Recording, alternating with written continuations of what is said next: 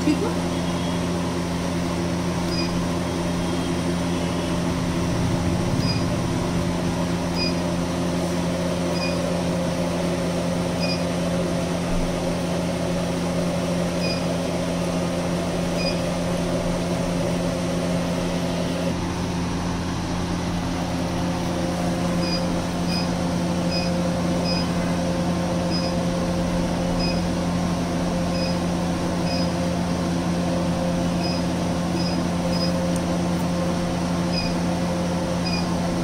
ये सेटिंग मैंने ले लिया फाइव कूल फ्लुएंस